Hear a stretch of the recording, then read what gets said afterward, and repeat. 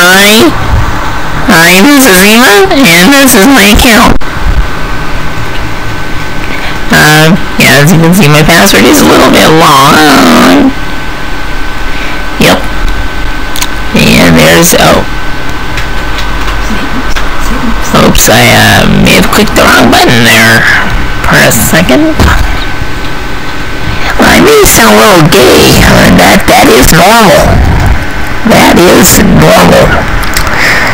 Never guess my password is eat my big fat horse cock.